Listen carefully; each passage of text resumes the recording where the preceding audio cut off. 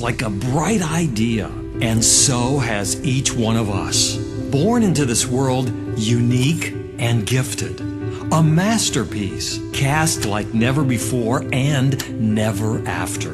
A magnificent work of art. And each one of us an artist too, eager to paint the canvas of life. Remember as a child, you woke up each morning full of wonderful ideas and dreams. Dreams where everything was possible. You wanted to change the world and you believed that you could. Believed in superheroes and believed you could be one. And then it all slowly slipped away. But that does not mean that superheroes do not exist.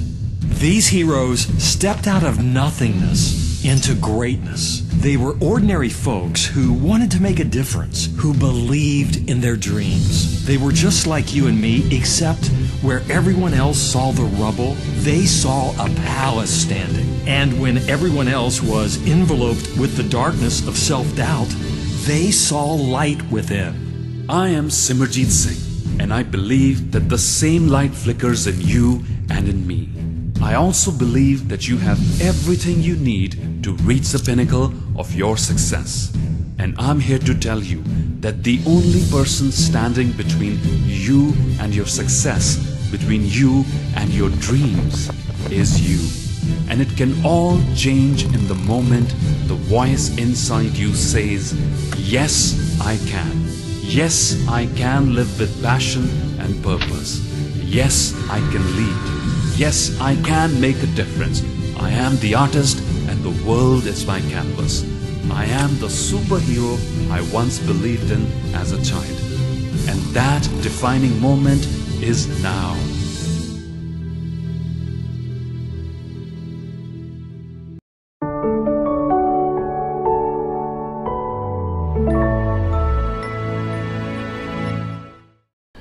Ladies and gentlemen, welcome to another episode of the Beginner's Mind series, wherein we listen to the experts, accomplished people in their fields. All the, we've had guests who spoke on leadership, innovation, personal branding, and um, as I told you earlier in one of the series, I haven't been reading a lot of books, but I've been listening to a lot of amazing people who come from different cultures, different backgrounds, but have one thing in common: the passion to develop others and that started with their own inner transformation. And we try to decode their journey so that we can share with all of you how you can embark on your own journey of um, self transformation and achieving your highest potential.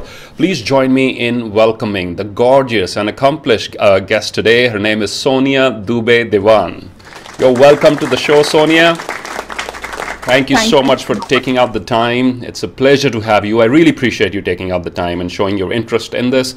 Um, I'll briefly read out your intro, Sonia. Uh, Sonia is the founder and managing partner of the Indian School of Image Management. She's an entrepreneur, an image consultant, international keynote speaker, published author, and first internationally certified image professional in the AICI India chapter. She's been dubbed as the fairy godmother of personal transformation. I'm going to pick your brains on that, how we can all, you know, we all need your spell, fairy godmother. we can um, transform ourselves. She has over 13 experience, ladies and gentlemen, 13 experience, rich experience in personal branding, image management, executive coaching and training, market research, and consumer behavior. India's top corporations uh, reach out to her for consulting and workshops, and she's worked closely with many C-suite, C-suite executives. Um, and has launched and been instrumental in the revamp of few of India's top personal brands. Sonia, once again, welcome. I look forward to an exciting uh, discussion here today. Um, I, I, hope um, you know you also please feel free to ask me questions whenever you feel like. This is a conversation both ways. But I would like to start with um, one of your favorite quotations out there, which is out there on LinkedIn as well. You write, "You are your most valuable asset." You your most valuable asset. Start investing in it today. Now, it's very profound as we look at it. And I sincerely believe it. I've practiced it. But times are tough and challenging. People have lost their jobs. Youngsters who had offer letters are no longer hearing from the companies. Um, the number of unemployed folks has gone up. Now, I believe, is a, a, very important time and a lot of uncertainty uh, in the economic scenario as far as that goes. Uh, talk to us about investing in yourself and why that is so important. Thank you, Simerjeet, first of all, for having me on your show. And yes, giving everyone an opportunity to talk to leaders and you know share their experience and learn along with that so a great job that you're doing for everyone out there um, a very important question that you asked me and actually started with the right the crux of what i do and why i do that so yes as i said invest in yourself because you are your most valuable asset let's think about it. Everything about us, about our lives, if we have to look, think about it, education, career, our personal relationship, everything exists around us because of us. We exist, this shell, this physical existence of us, right? So everything comes down to right to you. That is why sometimes we get so involved into looking into the external things taking care of things which are beyond you beyond your um, you know the core that is actually you, and overlooking yourself. So sometimes you have to go back think about it that everything in my life exists because i exist.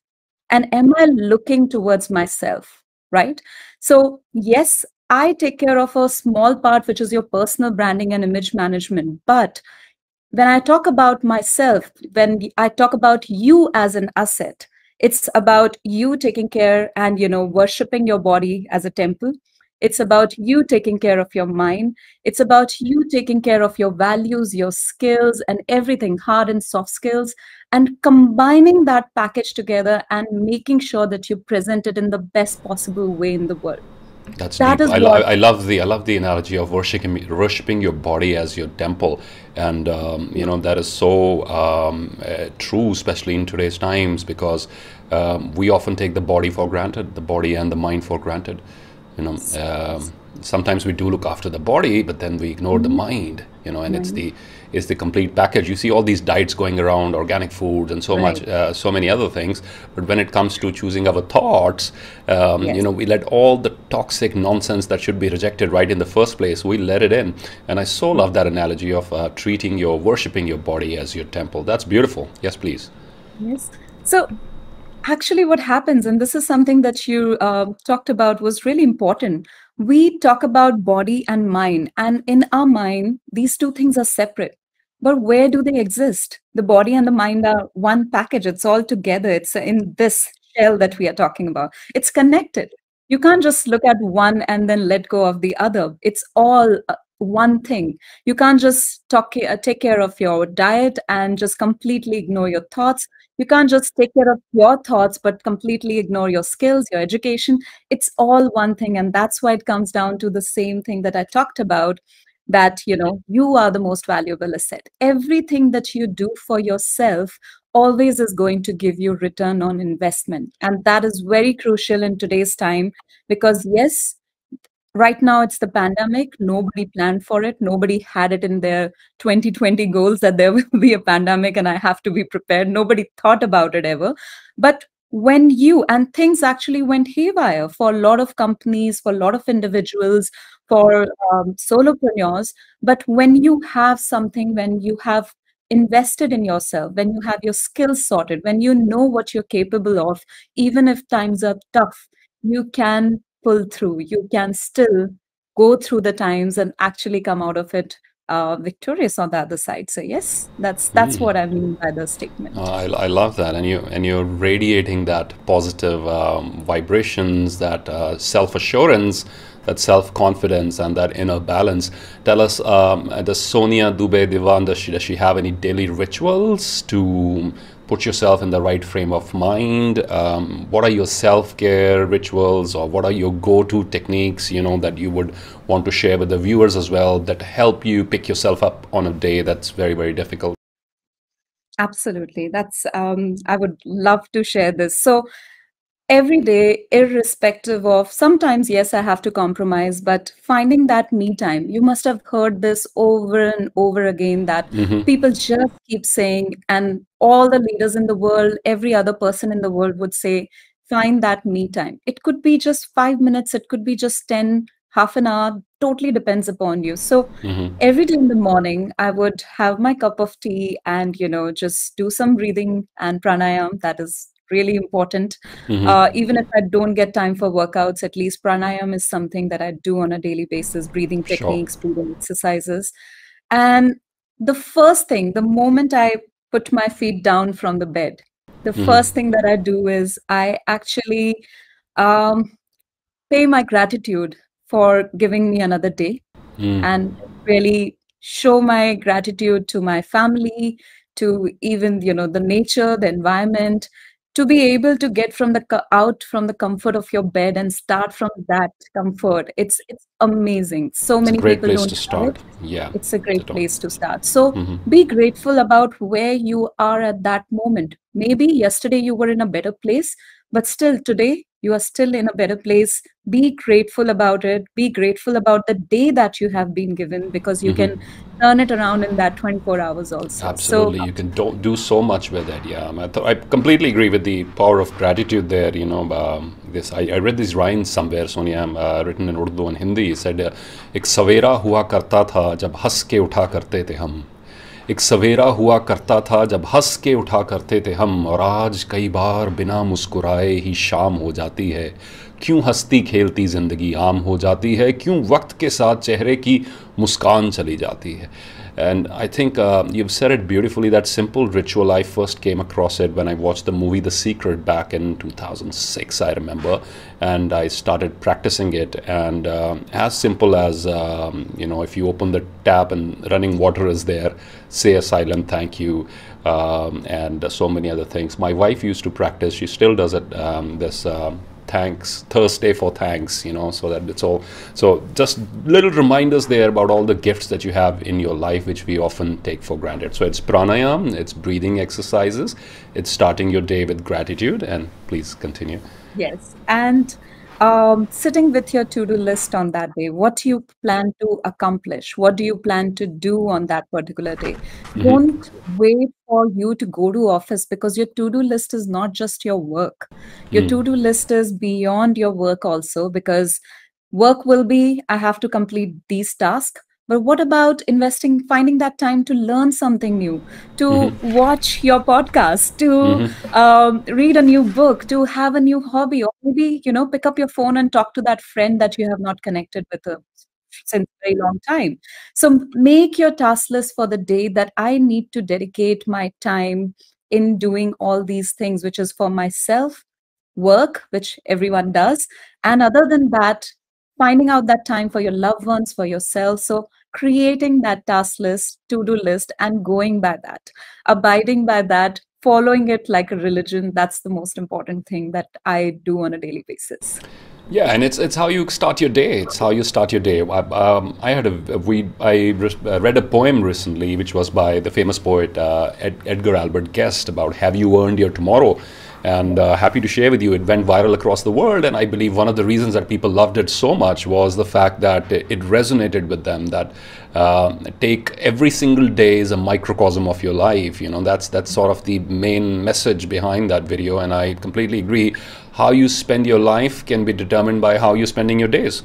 So if you're very meticulous, very well prepared, if you're not um, wasting that opportunity that God has given you today to perhaps write a different chapter, you know, so see what's gone in the past is gone, but today when you wake up in the morning, you have that power to um, take charge. And Sonia, you'll find it interesting. It's so many wonderful people I've spoken to in the last couple of weeks, and this common thread comes up in almost all the conversations. Every single one of them has paid a lot of attention to this fact, has focused a lot on how to start your day well. Because, and I think this is something we often overlook by going to default activities, and default being mindlessly picking up your phone and looking at all the um, notifications on it. So, without taking charge, if Sonia, you wouldn't be doing the pranayam or the gratitude or the other exercises that you're doing, um, and you just read your notifications, you've given up that opportunity to shape your own opinion for the day. You know, how I'm going to be today, right? Absolutely. And a lot of people give that power up. So yeah. thank you for that. Thank you for that reminder. These little reminders, they go a long way. I appreciate that. Um, talk to us about your journey, Sonia, into what you're currently doing. Um, this is brand new in India, image consulting, personal branding, and I know it's a growing field. And um, um did, tell us about your pre image consulting uh, before you launched the uh, uh, Indian School of Image Management, before you ventured onto this business? What were you doing before? What prompted your shift into this? And right. what are the challenges? And how so many of our viewers, Sonia, who are sitting on the fence, there's so many fantastic ideas out there. People who want to write a book, who want to turn solopreneurs, freelancers, entrepreneurs, but they sort of that doubt in between perhaps I'll make it, perhaps I won't. I want to listen from, from, to your journey, please, on uh, how did you go about this, what prompted it, what sort of triggered it, and what were the challenges along the way. Great. So you are uh, you have opened up a pandora's box because there's so much to share. Mm-hmm. All right so i'll start uh, way back from 2008 actually um, although i can go beyond that also but for now for this question let's start from 2008 so that's when i was uh, pursuing my mba and um, yeah the global recession happened and there was no jobs in the market. So placement situation was also very um, bleak means people were not getting um, you know placements and com- jobs in the company. So that was the year that i got placed and i was i'm really grateful that i was one of the few people in my institute who actually got placed and um, it landed me into a job which was something that i never planned market research Okay, so you look at me right now. I was doing, um, I joined a company in market research, and all I would do is just uh, look at numbers, analyze data, you know, do research and um, um, actual ground level research. Sitting, sitting in front of a screen, perhaps most of the time most of the time. Although i used to get some time to go to the field but that was very mm-hmm. minimum. Mostly it used to be hours and hours of staring at an excel sheet. You mm-hmm. won't believe Sivajeet, for the first four months i could just see excel sheets in my in my dreams. Happens happens yeah. right. I, I, remember sonia I, w- I was hired um, um, I, I spent some time about eight to nine months in the grand hyatt hotel in dubai running the room service for that property. And we had uh, 10 different phone lines and Hyatt had a standard we got to pick up every phone call within the first three rings. And uh, when the during the weekend in the morning they'll be like so we had a lot of rooms. I don't know 800 plus rooms and suites and everybody would want room service breakfast. So we had phone calls coming in and i these two sounds especially got embedded in my head. One was the phone ringing and we got to answer it. And the second was the printer where the kitchen orders would start printing. So I would wake up at 4 a.m. in the morning. Oh my God, okay, I can hear the printer. I can hear the phone ringing. So I completely relate to that. Yeah, you're dreaming of Excel sheets, right? Yes, means and how you know you get so programmed to those little things which happen on a continuous basis. And I'm going to um, you know just remind me later on about this thing that how you program yourself because this will um, come back to the investing yourself um, bit also so coming back to the Excel sheet nightmare, and it's not that I was not enjoying it; it was all right. But um, my colleagues were amazing. In fact, um, some of them are still friends. Uh, great company to work with, amazing atmosphere. Um, you're getting paid means that feeling of you know getting getting that sms with on 31st of every month your account is credited. It's a loop you know. It's uh, such an amazing biggest addiction on planet earth a fixed salary at the end of the month. The end of the month. Hmm. so i wouldn't i'm totally grateful about it but there was this um, you know little feeling that gut feeling in me which always told me that this is not where I belong. This is not something that um, I am going to do for the rest of my life. Um, it's it was just you know there was this back of the mind this thought continuously that you are sonia you have to do something beyond this uh, than this you are meant for something else what else that was i had no clue and actually i had zero clue every day what i would do i would go on google find a new job prof- a new profession which is doable. So not and, just a new job but a new profession huh? so okay. Okay. That's interesting. Profession altogether means uh, fashion designing events marketing branding digital marketing. I would have explored everything. Mm-hmm. and i would sit down with my journal and make pros and cons pros and cons of should i you know venture out in this particular field or not Uh, then I gave up. That was a very silly exercise. I gave up on that. But what I did was I started looking internally that what are my strengths and weaknesses, and what are what is the thing that I am really good at. So I started talking to my friends and started having a candid conversation. Initially, everyone was like, "Oh, you're great, you're great." It was like a very, you know, uh, general feedback. But then I started you know uh, digging a little deeper. And what i got was people started telling me that sonia one thing that we know is that every time we come to you and we say hey i went to that place and it didn't work out and i didn't get the right reaction or something and you would exactly tell me wear this say this notice this and if you notice this kind of a reaction say this thing uh, enter the room like this at this point of time call at this point of time right. uh, change your hair to this change your body language to this oh, posture oh, wow. to this. I would just give that on the spot. Uh, you know, and this is without any formal training? Without any formal training. This okay. was just i would just tell one two three four five steps and they would come back and they would say sonia that worked. That really worked. So that's when I started thinking that what is the profession that can utilize this particular mm-hmm, skill, mm-hmm. right? The fairy godmother so, was at work long before of personal transformation, right? Yes, but you know, at that point of time, nobody was talking about image consulting in India. There was coaching. I landed on coaching. But uh, when I explored profile of coaches, I was so overwhelmed. Everyone's profile was 20 years experience, 15 years of coaching. All men, all really old. you got it. Right. Well, I'm talking about 10 years, 10 years ago, right? Yeah. Yeah. Mm. I was 21 at that point of time. So mm-hmm. imagine mm-hmm. means uh, looking at those profile and just completely getting overwhelmed and uh, thinking, you know, having these self-limiting beliefs that this is not something you can do. You are not capable. You are not at the right education experience and everything. And or i don't fit in or will i fit in with this group or not right? Mm-hmm. people will question me. I don't fit into that mm-hmm. role or get ideal image of a coach. So i mm-hmm. just abandoned it. And that was a self-limiting belief. I feel that if today at somebody uh, a 21 year old would come to me and say i want to be a coach i would encourage that person i mm-hmm. would say okay mm-hmm. if you have the right skills you know the right qualities go ahead but that point of time i said that no i don't think i can do this so beyond that uh, i looked at image consulting and i kind of found that yes it's in sync with what i want to do in life mm-hmm. and it is in sync with my strengths and that was the beginning of um, you know for me to dive into the field of image consulting. Uh, this was a one year of you know to and fro and talking to multiple people and all of it. And that's where the next shift in my career started. And this is really interesting. And i would tell all the people who are on the fence right now and trying to switch their career. And if you are young don't do this mistake. Hmm. so when i decided listen I listen guys listen carefully. Right. Yes when I decided this is my thing, this is my aim, I dream and I want to become an image consultant um, finally, what I did, I just got so inspired and motivated that I just, you know, by looking at few movies, watched a few movies, I just quit my job without any backup plan. which movies? I'm, I'm interested now. Which which ones did you watch? I'm not gonna say that. Really? okay.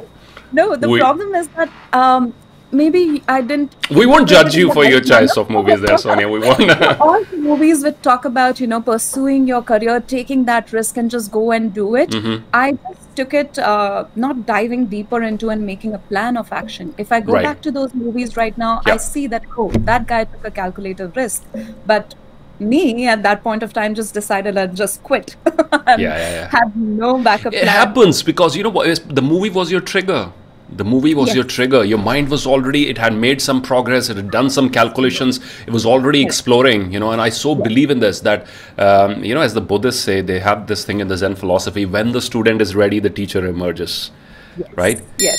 when the student is ready the teacher emerges which means now the teacher does not have to be someone in a physical form. It could right. be a book a movie a conversation anything that has now sort of accelerated that internal journey. You were already there. It's not that all of a sudden you went to watch a movie, you came out of the movie hall and said, "Fine, I'm going to quit my job and change my life." Right now, I know some people do that when they. It happens to some people when they do the NLP training and so many other things. A profound shift because most of us we don't get the time to spend with ourselves to have this sort of conversation in the first place. So you go to a conference where you're disconnected from your day-to-day life. You have some influential coach or speaker, some authority figure, and you come out of you know a vastly changed person. But I do believe that your mind was already there. I'll give you mine which movie, which was not like a trigger for me to quit my job, but it sustained me during very, very difficult times. There was uh, Pursuit of Happiness, Will Smith, right? Do you know how much I love that movie? I had the I had the background score on my um, iPhone uh, back then, and I would listen to it every now and then. Really, virtual high five there. Okay, great. And um, I even when I went to San Francisco, I took out three days just to be in all the locations where Will Smith was during that time, you know, sitting on this uh, by the harbor bridge, the block where he was working, etc., etc., so many other places. And I, uh, because it gave me hope during a very difficult time, that entire story of that gentleman, uh, who now is also an inspirational speaker, I believe him, himself, uh, the character that Will Smith plays in that movie, and very deeply inspiring. And um, so interested about uh, what, which, well, maybe if you're comfortable sharing, um, you know, know, what, what was the impact and how did that influence you? there were so many. In fact there was not one because you know you are motivated inspired. So you're looking for this kind of content only. So i'm uh-huh. reading it in books. I'm so seeing it in the movies and it's just acting. You are that there's this euphoria and then these things working as catalyst as you said yeah. that you know it just triggers that. So mm-hmm. um, yes means it happened. I just quit my job and within one month i realized my mistake. So for all the people out there i would say that you know do not ever do this mistake. Take calculative risk. Don't do um, anything which would uh, you know you would actually regret some time back. Yeah, don't don't um, walk out of a movie theater and just quick. Is that what you're saying? no, no, never recommended. Okay. Right. So I took up another job, and um, you know, Plan B came into picture, and I said, this time I'm going to do it right. And I funded my education. Monday to Friday, I would work, and Saturday, Sunday, I would study. And then, yes, I saved after that education, I saved enough money, which was just for four months, 80,000 rupees at that point of time, enough to pay my four months rent and my bills, electricity and mobile and everything else. and just four months I gave myself, and I said that, you know, you have to get out of that loop because that comfort of, you know, money mm-hmm. credited in your account is just so addictive. You have to take that leap of faith Indeed. and that mm. calculative risk. So, four months I gave myself, and I said, I have enough money but it didn't take me four months. It took me seven to eight months, and I borrowed money from my friends and all. Right, it right. That's perhaps the yeah. second takeaway there. You know, uh, your estimates will often go wrong when it comes to finances, Absolutely. right? Absolutely, right. nothing works as per plan. But the mm-hmm. idea is that once you have started that journey don't give up don't mm. have i had the plan b that i right. can always go back to the job but my plan b was never in top of my mind it was never in my vision it was the worst case scenario like i have given up and that's when i will go back to my job so my plan b was my worst case scenario uh-huh. it was not my okay scenario right so finally after seven months i got my first client and wow. Um, yes, breakthrough yes that's when that's the aha moment for every all all us freelancers out there, right? Your first client, right? First client. Uh, but you know, after the first client, there was a dip for six months, not a single contract, not mm-hmm. a single contract. That euphoria, which was right there, I was at the peak and it went down. And I, it was I can relate to it, definitely. Been there, definitely. It's like the universe testing you. Uh, you know, the universe says, "I'm gonna give you a little trailer here, Sonia. You know, this is how it could be. This is how your life could be. I'm gonna give you a little trailer, Simerjeet. This is how your life could be, and then I'm going to vanish for the next one year. You know, and I'll see if you can stick around. I'll see if you have the faith to still be around. Um, you know, for that next six months, eight months, right? Okay, Sonia. Before before, before you go further, if I may, before you go further, I'm I'm really really inspired by this, by the work ethic of a 21 year old or 20 year old to work uh, five days and the weekend and save money for your courses. Please, uh, as, as, you go further, um, please also talk about your work ethic. Um, where did it come from? What drove it? and how can young people who are listening to this conversation learn from it because we're now living in an era where there's a huge sense of entitlement, right? So if you've given birth to me, you better look after my education, that too in the top notch schools and universities of the world, right? It's your duty, hey, dad or mom, you gave birth me, to me. And so uh, I'm just exaggerating it a bit, but you know where I'm coming from. So talk to us about your work ethic, please, as you as you share your story. Sure, I would. And uh, this is something that is really close. The story is something really close to my heart. Mm-hmm. Um, I come from a very humble background, um, raised by a single mother.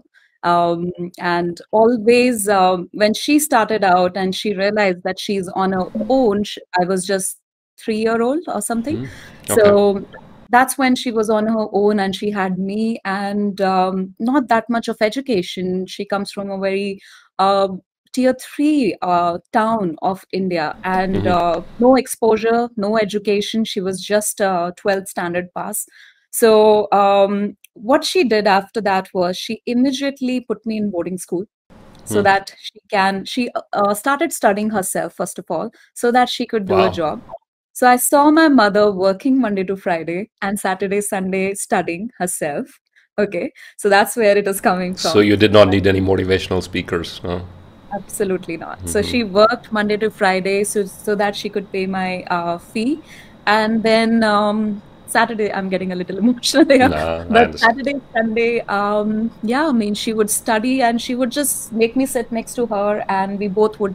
I would do my homework and she would study. So wow. that was where I'm coming from. And then um, she realized that she has to really push through and do a lot of hard work so that she can give me the right education in the right institutes and everything. And she ensured that I study in the best of the institutes and not the top notch, but at least. So I was sent to boarding school at the age of five, and um, yes, means I studied from fifth standard till 12th standard, um, uh, till 12 year old so till uh, sixth standard um, in boarding school so for six seven years i was in boarding school and i just saw my mother only on uh, you know during vacations and all right. so the work which must have been very tough uh, as well it was it was right. but you know when you are uh, molded that ways when you mm-hmm. are like my mom would just uh, when i was 7 year old she would book my ticket and i would travel on my own all alone mm. she would just tell me when you land over there or you will uh, not land uh, train travel i'm talking mm-hmm. about mm-hmm. flights were not something yeah. that we could afford but yeah when you would be at the station you'll find this person and he would be wearing this this shirt and he will take you to this place so she wouldn't be there but it was immense amount of trust on these close group of people who supported my mom and me and uh, yes means i saw everyone around me just working so hard and making something out of nothing like making and uh, my mother made me out of nothing. so wow, wow. Um, she did a fine job. She did. She did a fine job.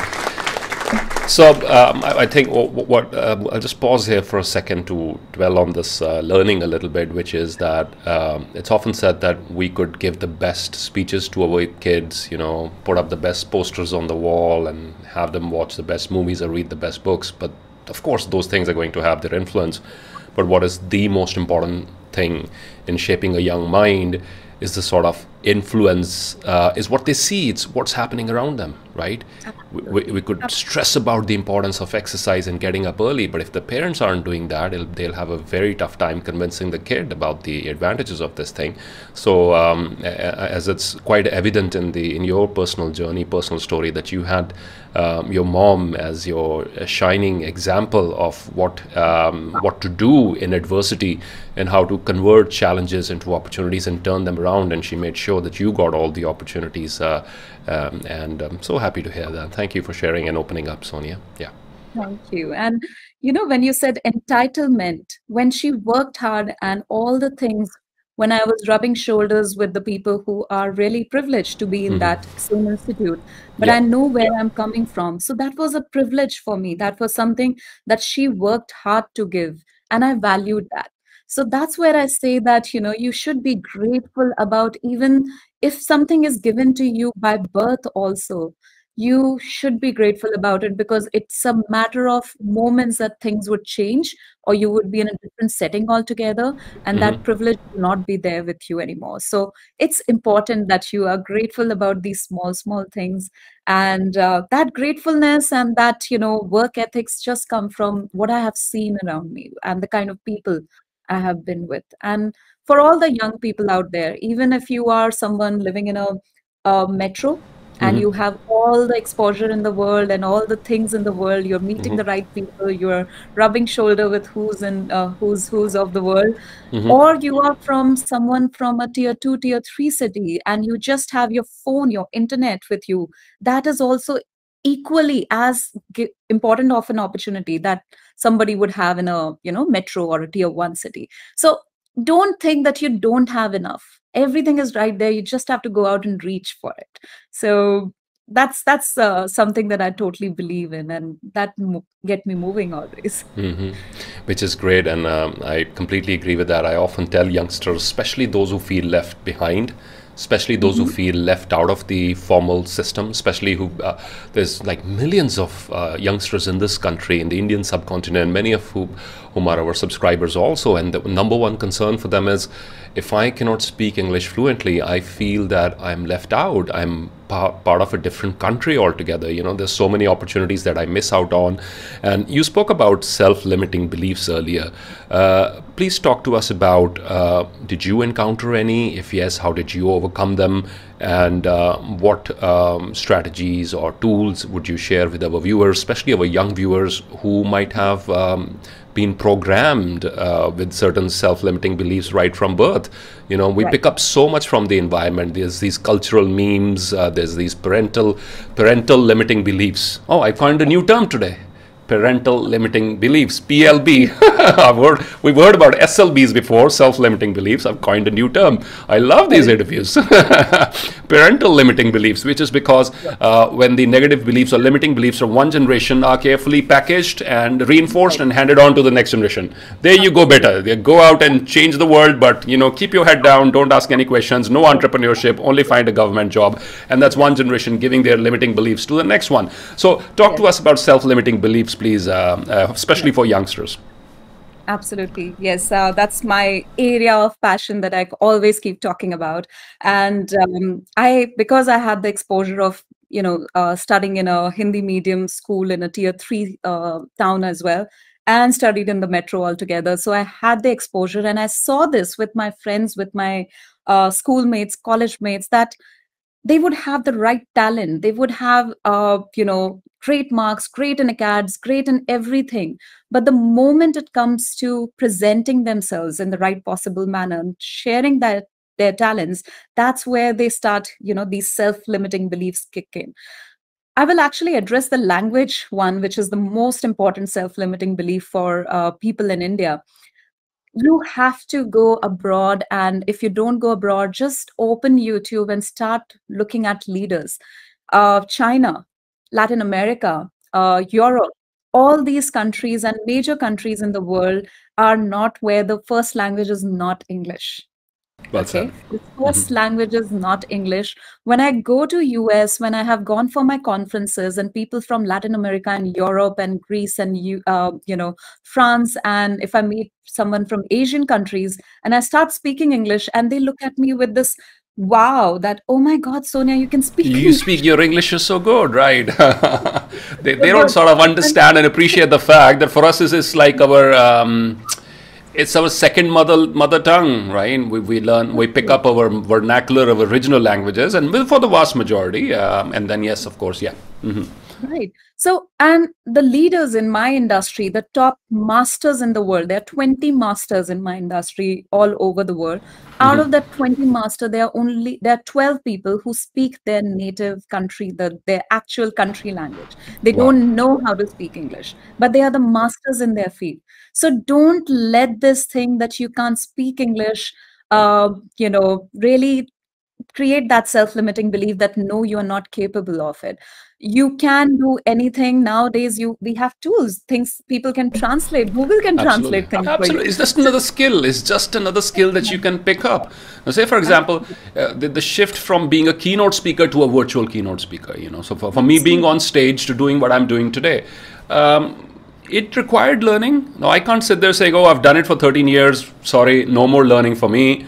You know, don't you come and change my the way how I do work, and I'm not going to do this it was a new skill. I had to pick it up. I did not demean myself in the process. I did not say, What a ridiculous speaker you are. You know, you never learned all these virtual tools before. Hey, it's happened now. I need to pick it up. And as you rightly said, youngsters can do the same with this language whole, this whole obsession about, which partly, you know, uh, we have to agree to the fact that yes, it does open a lot of doors. And youngsters are left out of so many wonderful opportunities if they cannot speak in English or carry themselves, you know, et cetera, et cetera, right?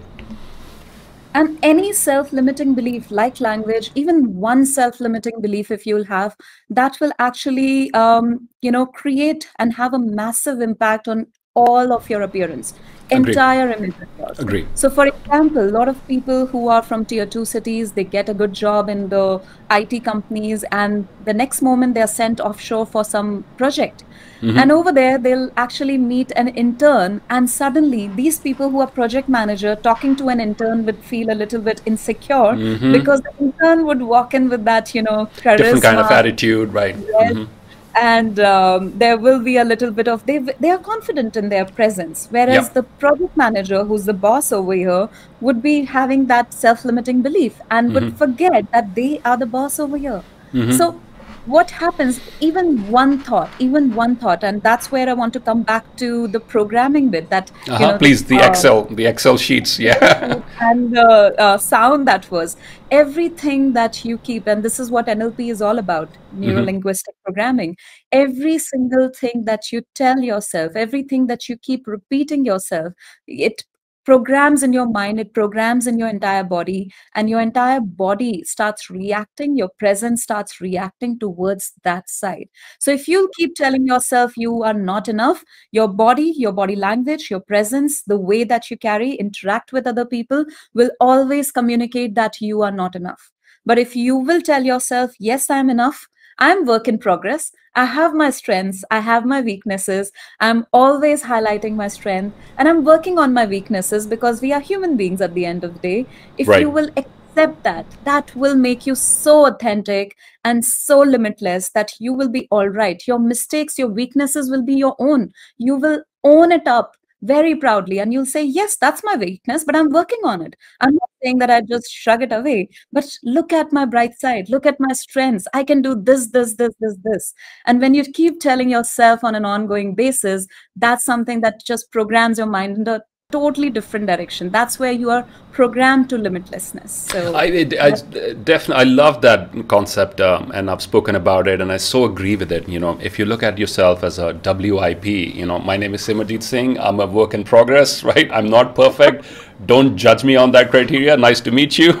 Virtual handshake. Yeah, and um, so uh, you suddenly become a lot more comfortable when you when you are not trying to be perfect, and when you are um, perhaps aware, and also you acknowledge your weaknesses as well. You're aware of them, and um, but you're not you're not judging yourself on them alone. You're not being too harsh on yourself, and um, um, the the same concept, Sonia, is reflected in um, the book about growth mindset. Uh, Professor Carol Dweck she talks about the growth-minded people, or growth-minded leaders.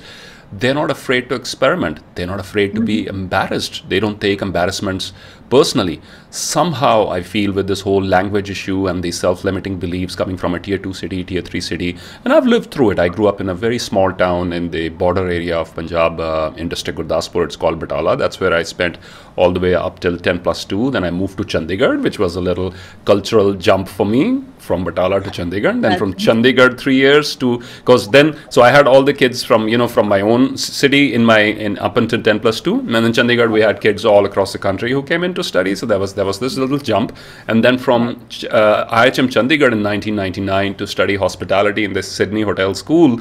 In um, all of a sudden, right when the Olympics were about to happen. So then again, uh, Sydney, as you know, is a very multicultural place. It was very happening. It, it is still very happening. Was very happening back then when we had the Olympics in.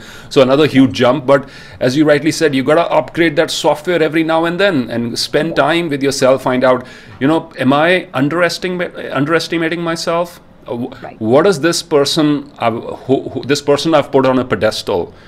Right. Why? Is it because the color of their skin, or the language, or the race, or their ethnicity, or what? Right. So we need to counter those self-limiting beliefs. We need to ask empowering questions, and that's when things begin to change. And I, you so rightly said, um, when it comes to these youngsters feeling having this inferiority complex, um, they just got to question themselves. You know, it's is it a language I'm measuring my worth on, Yes. or is it my ideas and my ability to achieve something? Absolutely. Once you So shift well- that focus, you, you will feel uh, like a different person.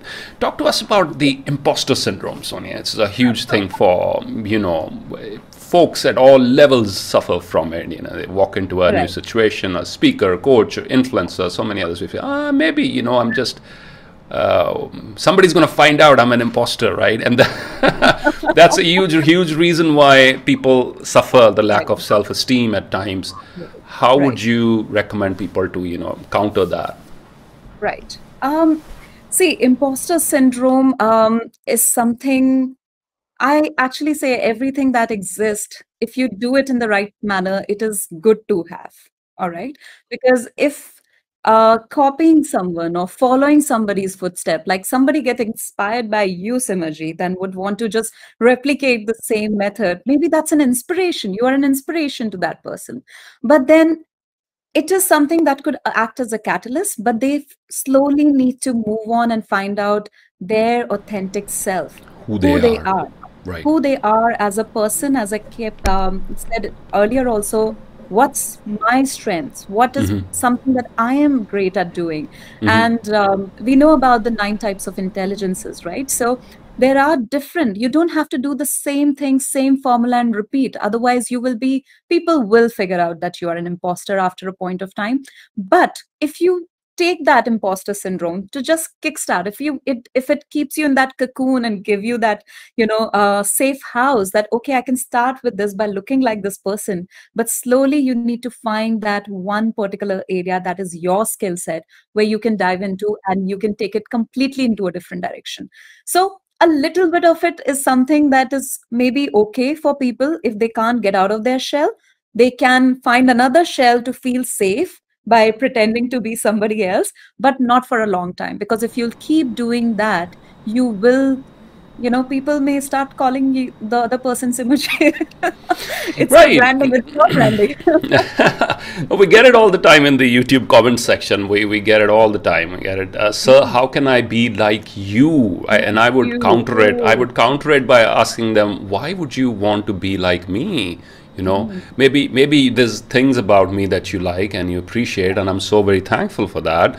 Uh, but you should be you because God has sent you to be you. You should discover what is all hidden inside you. I wasn't like this maybe 10 years ago, or five years ago, or a year ago. I'm evolving. I'm growing. I'm creating a new version of myself every now and then. So if, Right. if it's not like uh, Simerjeet Singh arrived on planet Earth, you know, sure about himself and confident and all other things, right? And uh, uh, you grow, and um, I think this is what every individual should be doing as well: is to find out the resources for their inner growth also and to discover what is programmed within them you know.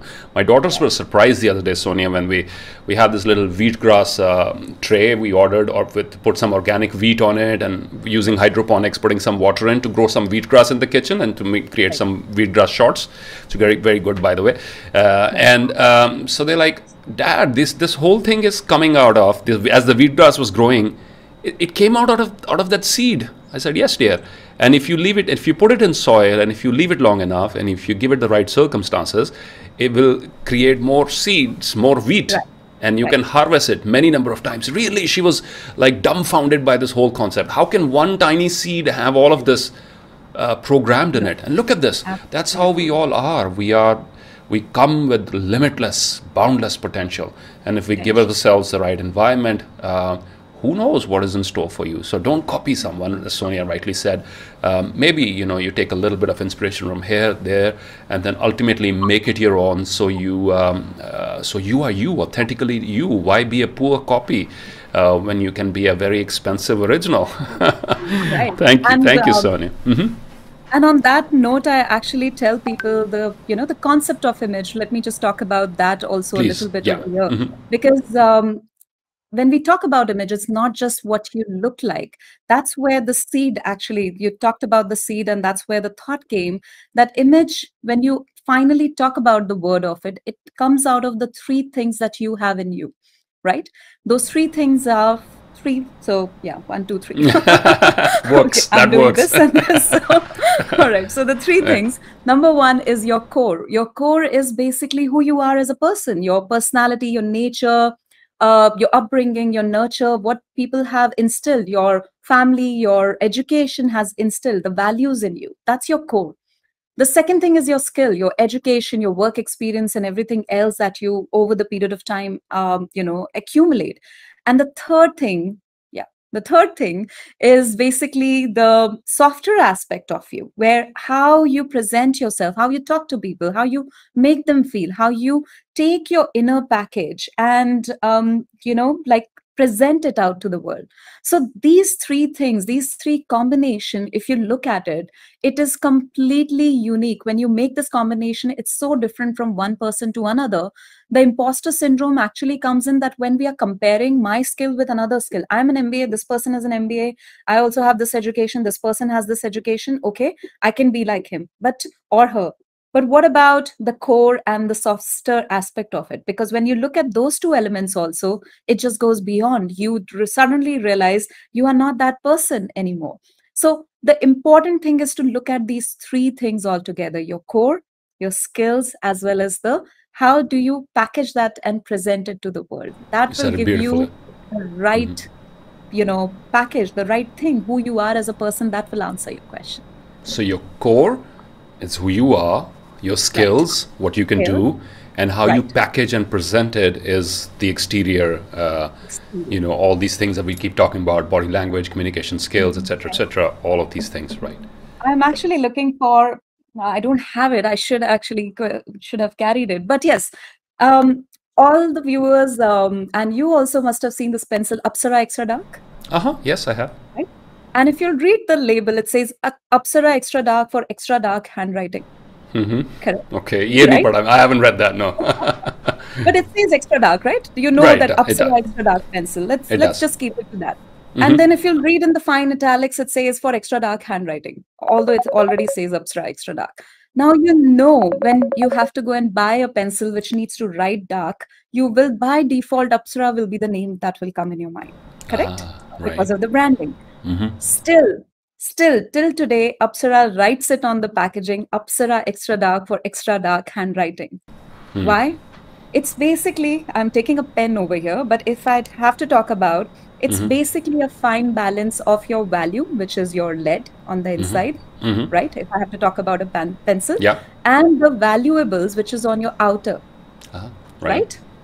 If you take the pencil, the value is only in the lead. Can I write with the pencil or not? Mm-hmm. If the pencil doesn't have a lead, it's of no use to me, right? So Agreed. your value is your skill, your core, your personality, your you know uh, what you have learned over the period of time, education, experience. Everything is your value, mm-hmm. and how you package it on the outer side. You have to put this value on your packaging on the outer side, which says Apsara Extra Dark. That's when people pick up. That's where people see that that's where they give you the opportunity. That's how you create a brand for yourself. Mm. so hmm. a fine balance of your great example there. I loved it. Thank you. And i think it's it's so uh, the, the, this whole example made it very clear to you that the core who you are your skills, what you can do, how you can add value, and the, how you present and package it. And all three of them have their own importance. And you know, yet uh, we come across so many cases when people are really good at the core, but they they miss it. They're really horrible at step number three, how they present it or how the world perceives it.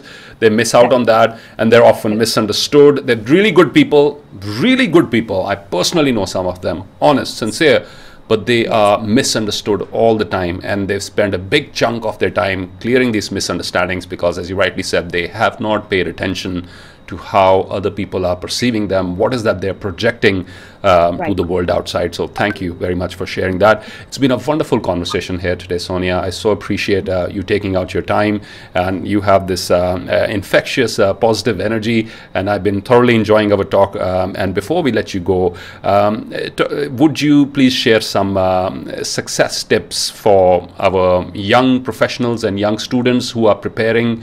For an unknown new normal. We don't know how things are going to be.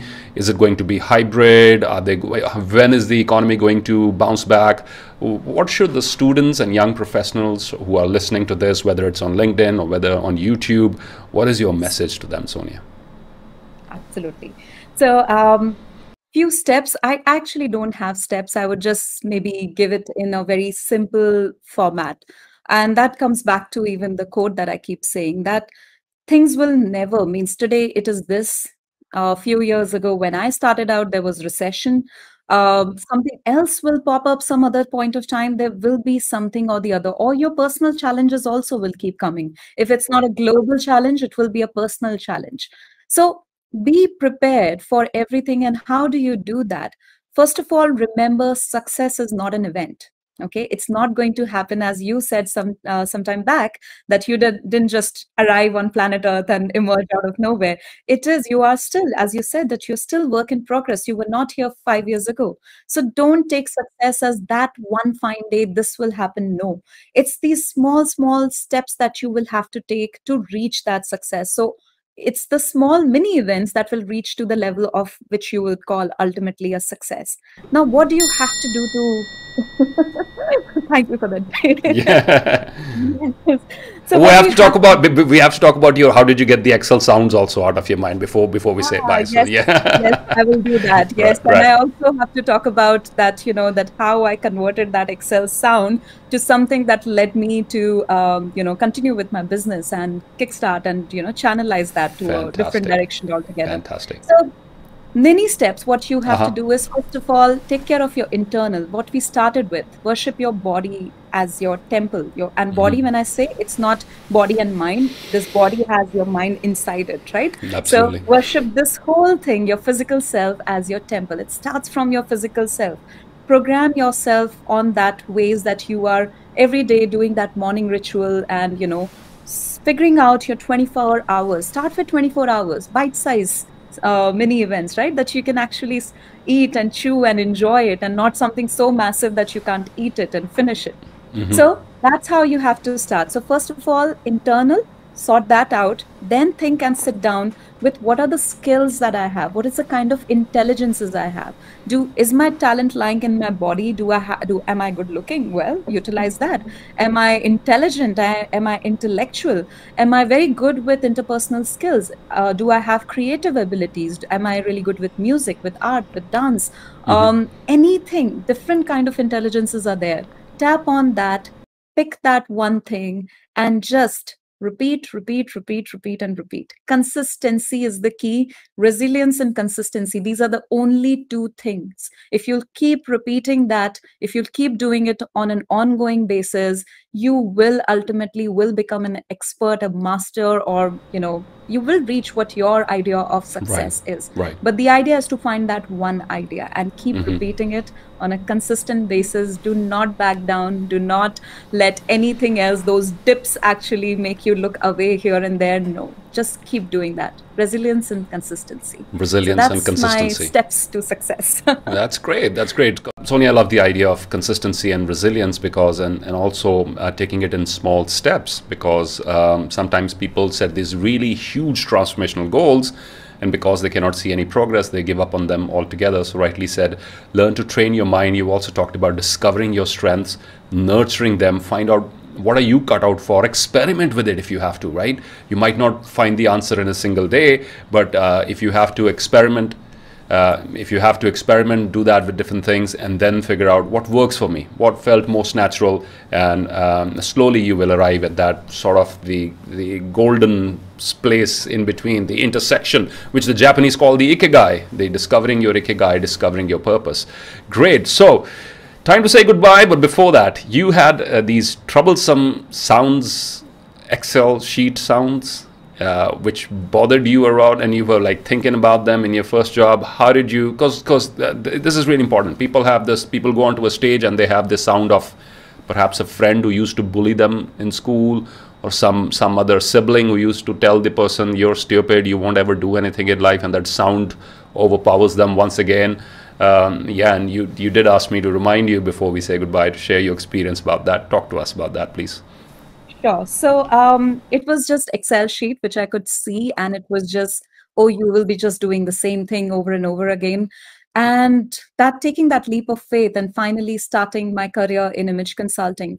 But then again, there were a lot of people who suddenly, when you try to do something new, there will be so many people will uh, come and say things to you so after the Excel sheet, what happened? There were people who were saying, You had such a fine career. People don't have jobs. You are being stupid.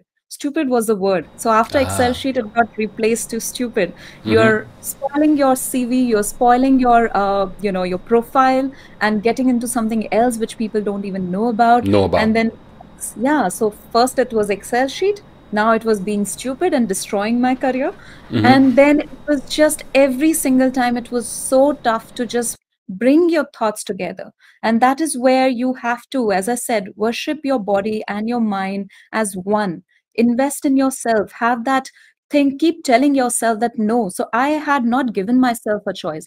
I was not telling myself i will try to become an image consultant. I will try to be india's first certified image professional. That was not try.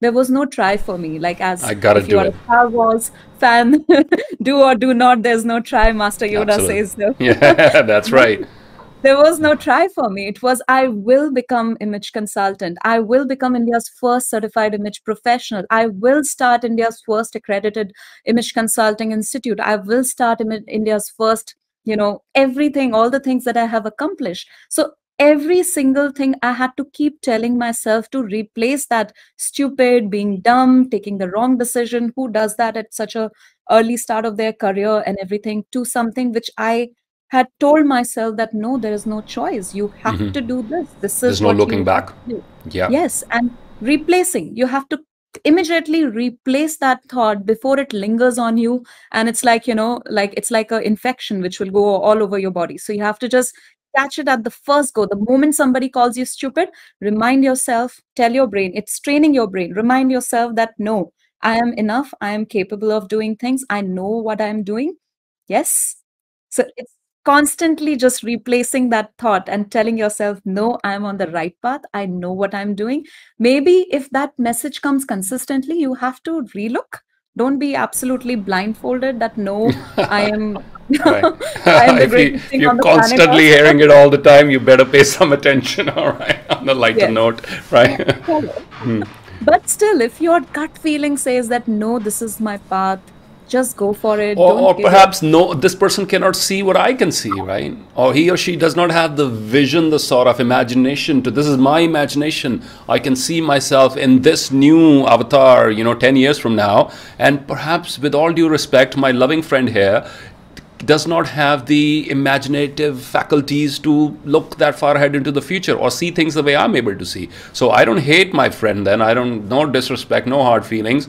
But hey, you cannot see what I can see. And what I can see is, is my gift. It's come to me from somewhere trusting that I can convert that idea into life. So no wonder these ideas came to you because you, you, somewhere within you, as you spoke about it already in your corporate career, you had within you that I can convert these ideas into life, right? So that's beautifully said. You, you got to take charge. You got to take charge of your internal conversations. And if you hear stupid, stupid from the outside, it reminds me of these lines uh, in Urdu.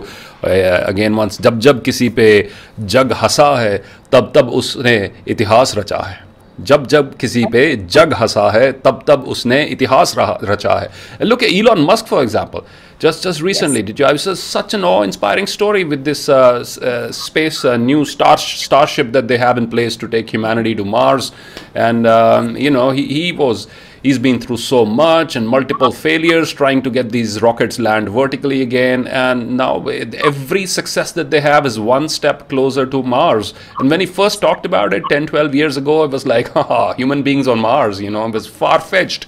We have you know so we, we need these individuals who uh, who take charge of their internal dialogue so that they're able to push the boundaries um, so to speak Sonia, yes. we've had a wonderful interaction here today. I thank you so very much. Um, I give you a virtual high five and I say thank you for joining this conversation. Guys, if you want to, uh, please feel free to connect with Sonia Dubey Dewan on her LinkedIn profile and uh, also on her website, official website, which we will share in the comment section as well as the description of this video for any queries regarding consulting or coaching or inviting her for keynote speeches, etc. And once again, thank you for joining us we uh, bid goodbye with another round of applause for you for being so open, so authentic. Um, thoroughly enjoyed this conversation, Sonia. Bye Thank you now. so much, for having me. Thank you. Bye bye. Take care. Bye.